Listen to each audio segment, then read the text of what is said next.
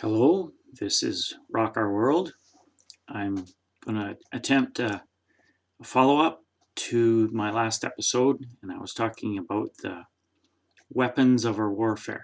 And the, the big one, the one that has the, the biggest bang for your buck, is the hydrogen bomb of the kingdom of God, and that is the exercise of fasting. So I want to expand a little bit on that I'm going to go through two, two or three or four scriptures, two in particular, Daniel um, 10 I had pointed you towards, and also Isaiah 58.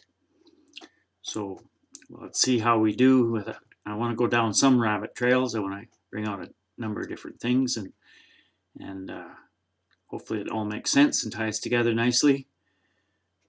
So let's tackle. Uh, exactly what is fasting and its purpose. And I want to bring forward the idea that that the demonic world, Satan and the demons, and those uh, are two different things. Uh, one is the the fallen angels are are Satan or the Satans. You can even use plurals with that. These fallen angels uh, created offspring when they went outside the boundaries of God's instructions. And this is all found in the book of Enoch uh, and the book of Jasher and the book of Jubilees, a great, great expansion of Genesis 6. There's a one line in there. I should have looked it up.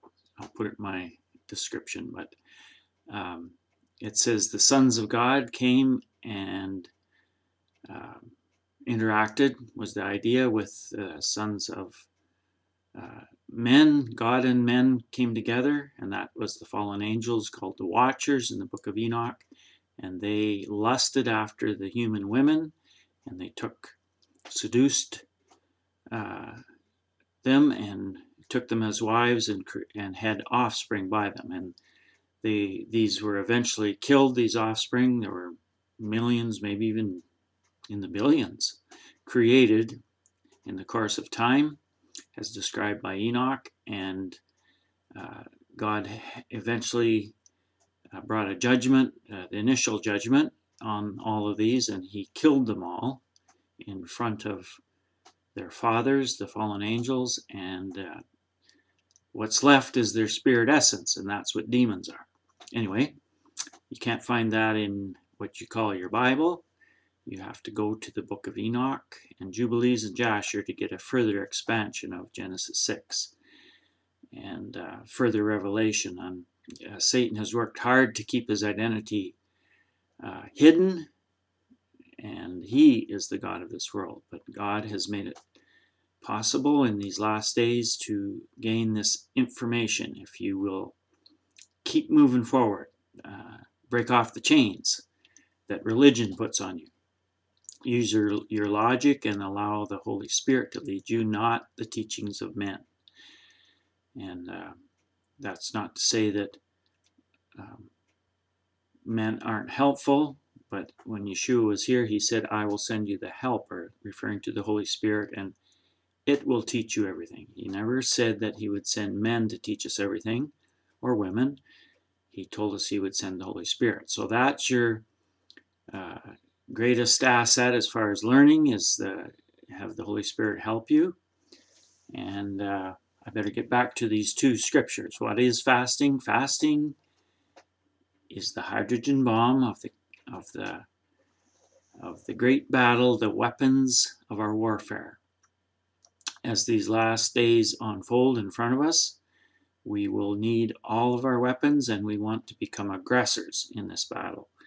I explained that a little bit in my last episode.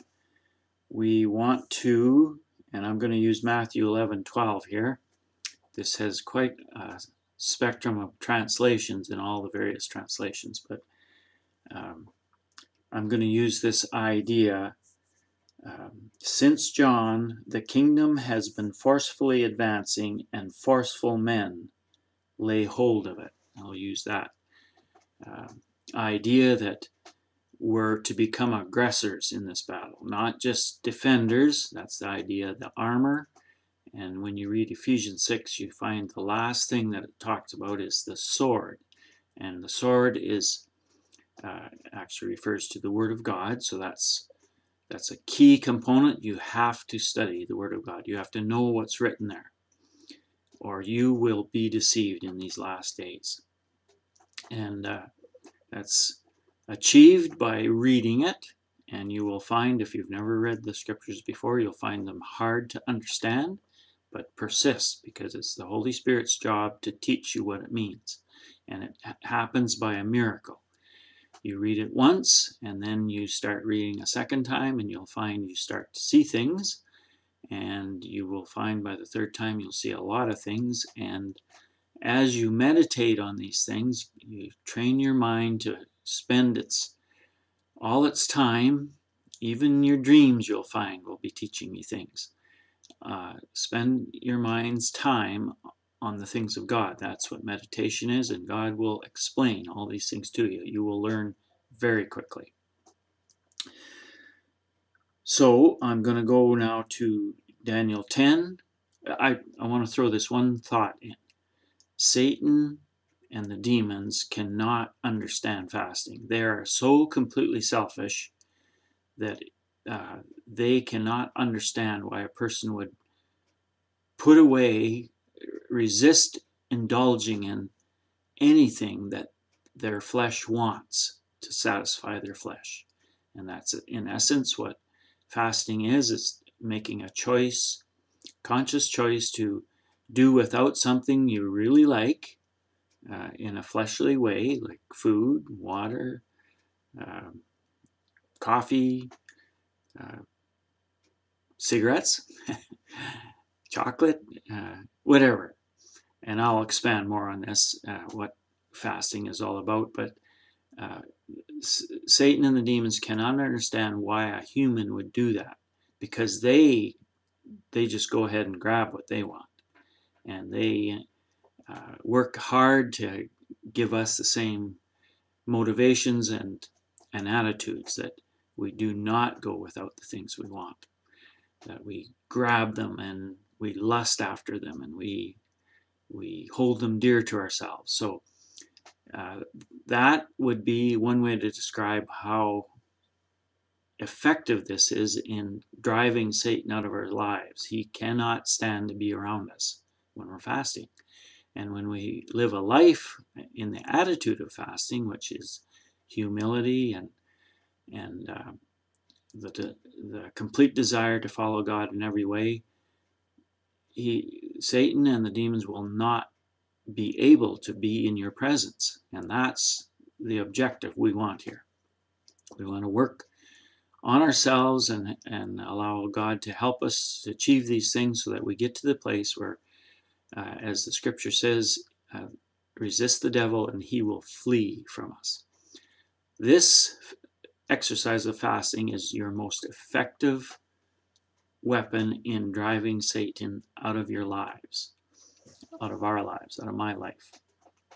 So uh, I will go ahead and talk a little bit more, more about what fasting is, how do you go about it. In Daniel, we see Daniel 10, we see Daniel uh, choosing to fast in that case for three weeks. He, he received the answer he was looking for and at the end of three weeks, so that's why he stopped fasting. Not that he chose to fast three weeks, but he and how he fasted was that he uh, abstained from drinking wine and fancy foods, meat, desserts. Let's say it really boiled down to all he was eating was was vegetables. And uh, it, just a side note, it was pointed out that he and his uh, in one case, they were healthier after they'd been fasting for a certain amount of time.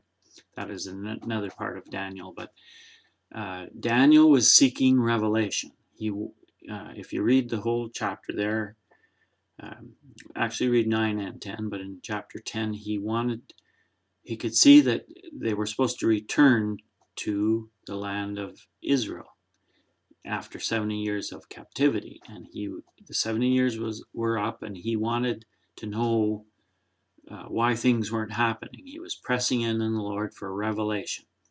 And I will point you to Daniel uh, 10 12. Uh, it's uh, in the various translations, you'll find that, that Daniel was seeking to gain understanding and to humble himself. That's, that's the words that the angel was speaking with Daniel. And he used those that terminology. And we know from another scripture that God gives grace to the humble. That is an important aspect of our character that God wants to develop in us to become humble. And uh, that is one of the ways that fasting is described, is to humble oneself. So that is one of the things we're seeking in fasting is revelation to gain understanding. And we do uh, that by humbling ourselves. And then uh, I'll point you to Isaiah 58, uh, verse 6. To break the chains of understanding, to let the oppressed go free, to break off every yoke. These is uh, these are metaphoric language. This is metaphoric language, and we're talking about uh, getting rid of sin. Would be maybe the most succinct way to describe what we're doing. We're getting rid of the things that keep us in prisons and bind us, and uh, there's that could be described in all kinds of ways. There's generational curses that are following us around in our families. There's all kinds of things that hinder us and and uh, oppress us, and we feel like we're in prisons and that we're, we're bound by chains. And fasting will break these things off. And uh, a word of encouragement: we rarely see an instant result from fasting. Fasting is more of an investment in the future, but we will see them. And um, in my walk with God, I did a lot of fasting back about 20 years ago, and I did actually see some pretty amazing things. Um, I'll just tell you this one short story. I a lot of times when you are feeling an urgency or a, a push or a, um, a sense that you're supposed to begin a fast, you won't necessarily know what it's for. And uh, you'll feel more the urgency or the, the drawing of the Lord to do it, and less so why you're doing it. But it is for a, a purpose, and you will uh, likely find that out in the future. But in this one case, I I had fasted for 40 days twice back in those years. And um, the one time I did it, I it was one of those situations I didn't really know what it was about, but I felt this urgency and this pressing. And um, there had been a breakdown in a relationship that happened just as I was feeling all this in uh, between two family members and it was very very serious. And uh, there was a uh, an offense and a breaking of this relationship. And anyway i thought oh, uh, maybe that's what this is about you know and at on the 39th day of this fast the the one person in this broken relationship called the other one and was weeping and and said, uh, and the other one said, well, what's wrong? And the answer on the phone was, uh, we're wrong. The, the, thing between us is wrong. And he apologized, and there was a there was a, a mending of that relationship on the 39th day of that fast. Anyway, that was one of the more remarkable things that uh, in the past, but uh, I remember Jonathan Cahn and uh, Sid Roth. Uh, Sid was talking about this, how they, in their early days, I think around when they were 20 ish, uh, 20 years old, they're now in their 70s, I believe. They did a lot of fasting and they said the same thing. We really didn't know why we were doing it. But now, today, 50 years later, here they both have very successful, very effective ministries. And uh, it would be a good thing to follow both Sid Roth and Jonathan Cahn a little bit. Um, Jonathan Cahn has a lot of prophetic gifting, and Sid Roth has a program that draws together a lot of uh, people with unique and godly experiences, and uh, uh, there's a lot to be learned from both of them. Uh, I would put both of those in the class of the spirit of Elijah that I've talked about a lot. Okay, uh, I think I've covered the idea of fasting, its purposes, as well as I wanted to.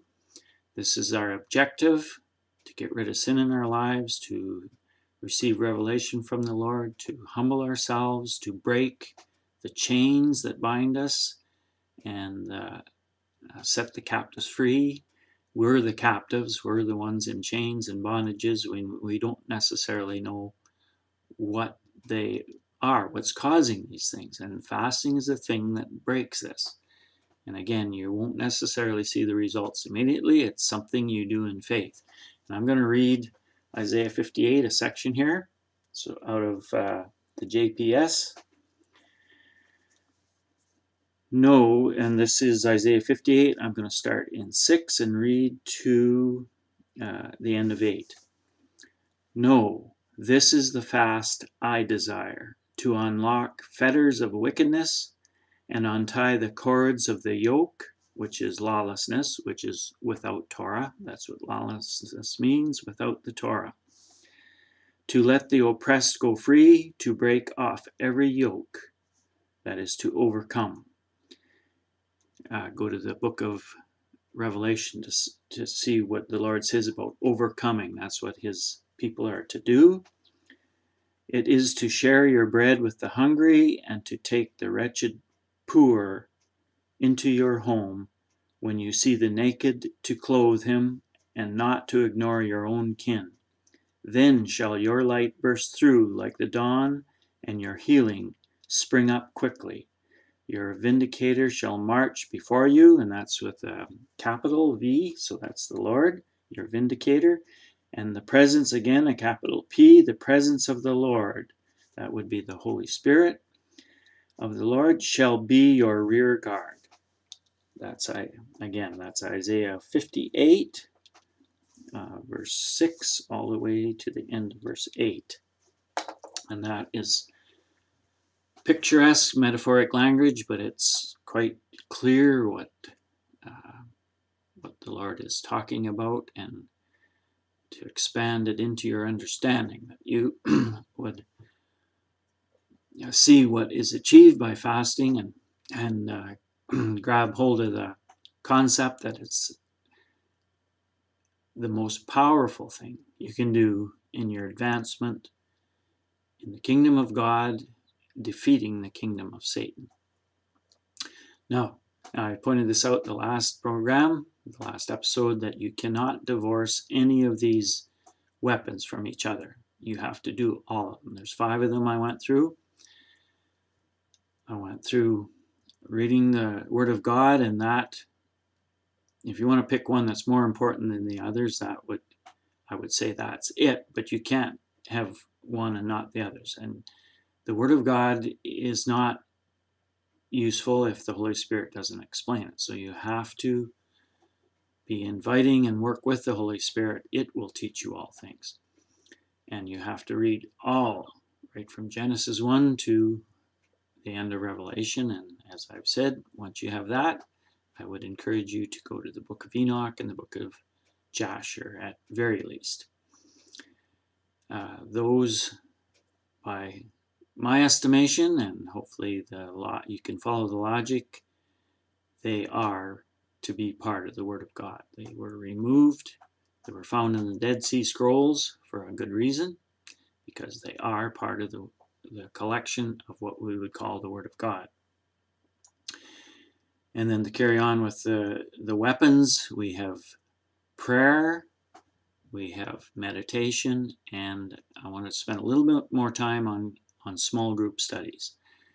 I talked a bit about that in the, these five weapons, and then the last one is the, is the hydrogen bomb, is fasting. But uh, the small group study is important because you need an environment where it's small enough everybody can participate, get involved in the discussion, and that's where you'll see the gifts of the Holy Spirit operate in your discussions. You get a topic, and I've suggested you watch my episodes as a uh, just watch an episode and then discuss things I went through. And you pick them, but you can use any resource the Lord leads you in. There's thousands upon thousands of resources out there, but the Holy Spirit will lead you to the one He wants you or it wants you to uh, work with. God is the only one that sees the whole picture.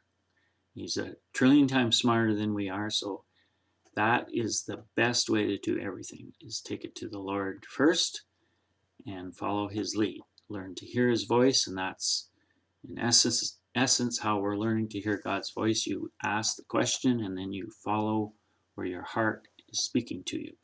And when you're working with a group of people, that uh, is even more effective because if everybody's feeling the same thing, you have confirmation of where you're headed. So in a small group, these things are achieved very readily. You'll see the Holy Spirit work powerfully in a small group, but this doesn't mean you uh, ditch your church community. And uh, again, the Holy Spirit will teach you what it wants you to do in regards to that. But I would say off the top that your church community is going to go through a crisis very soon. All of uh, the world's churches, both in the Christian and Jewish worlds, are going to go through a crisis right ahead of us. God is going to call to account the leaders. You'll read about that in Ezekiel 34. And those who eat the sheep, that is, they're hirelings, they work for pay rather than for the Lord they will be dismissed if they don't change, and those who muddy the waters, that is, they teach false doctrines, they simply teach what they were taught rather than study the scriptures and ask the Holy, have the Holy Spirit explain what they are, uh, the meanings, the meaning of the scriptures. So uh, this crisis is right ahead of us, and uh, if you get Rick Joyner's vision, the Final Quest trilogy. There's a, a very good description of how this is all going to unfold. That when this, uh, one, in one place he called, the Lord revealed it would be like the Civil War. That it will appear the church is uh, faltering and failing as this uh, correction comes upon it. I've described this as the white horse. This is directly ahead of us. And uh, we will need true leaders, and you could very well be one of them that are uh, waiting in the wings, in the background, learning from the Holy Spirit and ready to help out when this crisis hits. And that doesn't mean that every church leader and every pastor will be dismissed, but if they don't change, if they don't correct the things that are wrong, they will be dismissed. And uh, there will be a need for leaders and if you read, when you read Ezekiel 34, you'll see that the Lord has prepared ahead of time uh, shepherds after his own heart. So our prayer is that uh, the present shepherds will go along with the changes. They will allow the Lord to correct them, just as He has um, myself and there's, there's got to be lots out there that are going through the same process. The Lord's preparing ahead of time, showing these things. Uh, one of the uh, really important things that it would be worthwhile doing would be to order that AENT, that is the um, Andrew Roth project of the Aramaic English New Testament. That is the only uh, good translation of the original Aramaic documents that we call the New Testament. The Greek versions all have a great deal of error in them, and a lot of that error is very purposeful. It was dishonestly done. The Lord has allowed this until this last this late date, and now He is correcting it. this work that uh, Andrew Roth did was done over a number of years, and he's now, I believe, in the fifth edition. So that would be good if you could get the most recent edition. I have the third one, and it's very good. Uh, so get get a copy of that and start unraveling the lie that Jesus did away with the Torah. And that, as I keep saying, goes hand in hand with the lie that the New Testament was written in Greek. These are lies. They were uh, put in place 1700 years ago and they have carried on to today, and now they're being on, uncovered, and it's now the responsibility of all uh, church leaders, pastors, and so on to correct these things in their churches, in their lives. And they're not re- they're not guilty of the lie themselves. They have inherited that lie, these lies. But now they're responsible for correcting it, now that they know. So hang around in your church community unless the Lord tells you otherwise and be there to help when this great civil war erupts and the Lord goes takes us all through this great sorting out. And in essence that's what the great tribulation is for is to create the first fruits. And so I'm going to spend the last couple of minutes talking about um, I in my last episode I explained um, how to find go through the 51 day count and find the the uh, feast of first fruits uh, and the Feast of Weeks, and how it is a prophecy of the Great Tribulation in the counting of these seven weeks. Right now, we are on the sixth day of unleavened bread here. It is April uh, 8th, 9th, sorry, and tomorrow is going to be the last day of unleavened bread. April 10th will be the last day, and it is a it is, it is an appointed time of the Lord. It's a day that we don't work. We, we rest and we uh, do what would be appropriate if you can get together with other believers and talk about what the days of unleavened bread mean, how Yeshua, our, our Savior, who uh, is in uh, is the first of the first fruits. He rose on the day of the Feast of First Fruits, and then he dealt and I've developed this idea, he, de he dealt with half the problem of sin.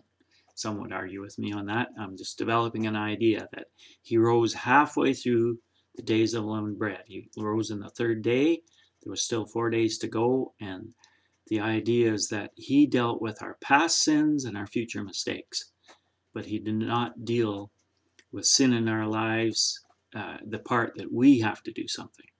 So we have to take up the the challenge and we have to spend a lifetime getting rid of sin in our lives and that's what the lord's talking about in the book of revelation when he tells all the churches to be overcomers we are to overcome sin in our lives and sin is the transgression of the torah if you will choose to be honest and read the entirety of the of what christians call the new testament the i call them the apostolic writings you will see clearly that the followers of Jesus, the disciples, and those that were raised up uh, subsequently, all of these people were keeping these feasts. That's very obvious. They were keeping the days of unleavened bread. They were keeping the Feast of First Fruits, the Feast of Weeks, which was um, deceitfully misnamed Pentecost.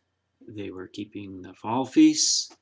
I've gone through a lot of these points in various episodes, but you have to be honest that with yourselves that they were uh, all keeping these feasts because Jesus taught them to.